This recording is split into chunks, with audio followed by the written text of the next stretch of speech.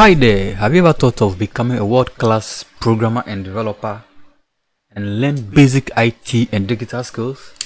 If you are the type aiming to become a seasoned web developer, software developer, then consider subscribing to this channel. And stay tuned, I'm going to have amazing content. I'm going to teach you everything you need to know to become a world-class developer, step by step as a beginner.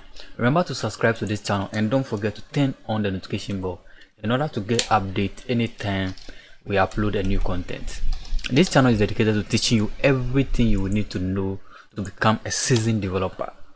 Okay we're going to guide you and take you to every process you will need to become a perfect and amazing developer. Every digital skills and every other things you need to know concerning it to become a world-class digital skill expert. We'll teach you everything here put another input this time around we want to submit the result.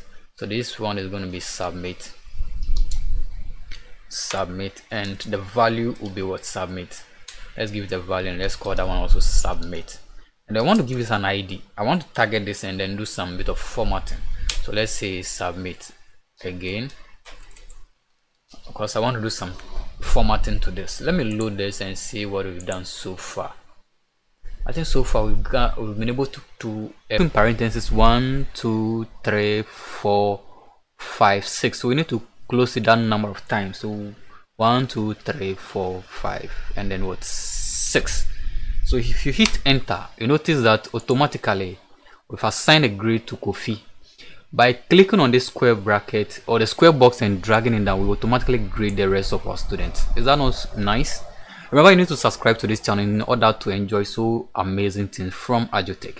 So this from this we're able to grade our students automatically. We can use the same function the same procedure to also give them a remark. What you need to do is that where we have we have so far. So let's first go ahead and then also apply our gradient okay? I think that down here we also need to shape this side a bit.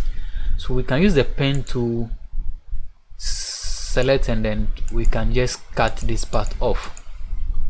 Let's select make selection. And then hitting the D delete key on our keyboard will delete that part of control D will this select and I believe we are making progress so we can now apply our gradient to it. So when I double click on this will give me what? The layer style and I have to go to a gradient overlay. So notice what is happening over I have several gradients but this is the most recent gradient I use. So when I click on it I'm going to have that. That's exactly that's the exact gradient I want to use. But if you don't want that gradient notice you have several gradient options over that you can select from okay? So if I select any of these gradient notice it's going to change accordingly. But for this purpose we are using this gradient. So I think this is okay and then I have to apply the same gradient. I have to apply the same gradient to the top one. I can right click on this and then right click on the first one go toward copy layer style.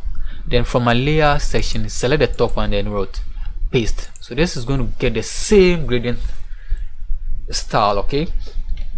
So right now we can select the two and then we can move them around I press Ctrl I can select the two and we can easily move it